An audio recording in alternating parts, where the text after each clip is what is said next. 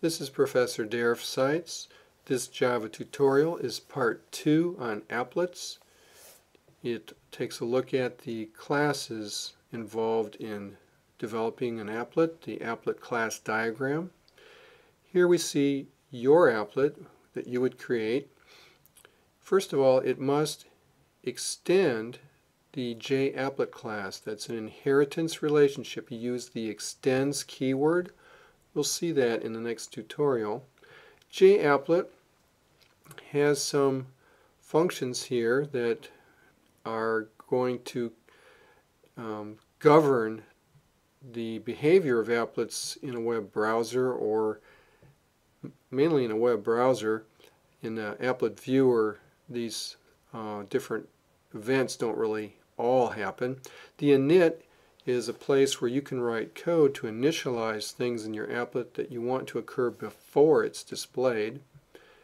The paint method is called every time your applet needs to be repainted because its window in its web page is being shown or is covered and uncovered by another window. The paint method is where you do all your drawing. It's called paint. When the applet's done, it uh, calls the destroy method where you could put any cleanup code. And then there's a start and stop in there. Those functions have to do with when you gain the focus or lose the focus in the browser. You are these are events that where you can put code.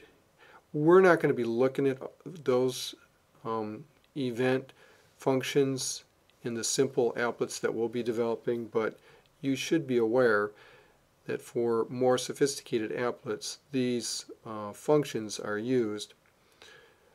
the main uh, class that you'll be using is a graphics class.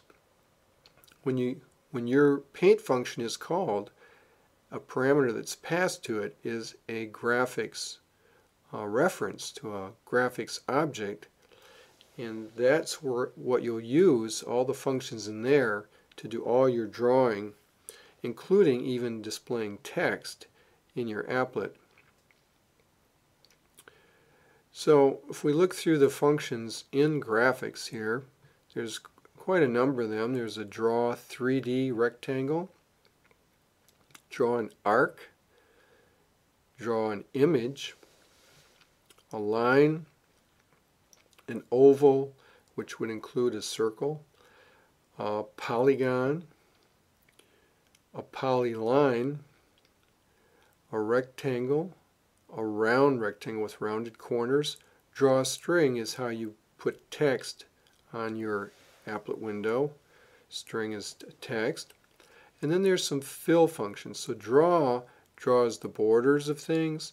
When you do the fill functions, it fills the entire area of the object that you're drawing. So there's a fill 3D, fill arc, fill oval, fill polygon, rectangle, round rectangle. You can also set the color to use and that from that point on any drawing will be in that color and you can set the font as well to change the font for text from that point on. If you want to change it again you need to call these again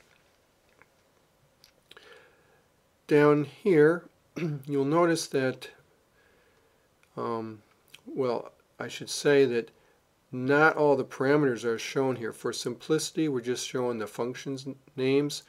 These functions have a number of parameters and it would just make this overly complicated looking to show them here. So you'll want to look in the Java API documentation for these functions to see what the parameters are as you study them.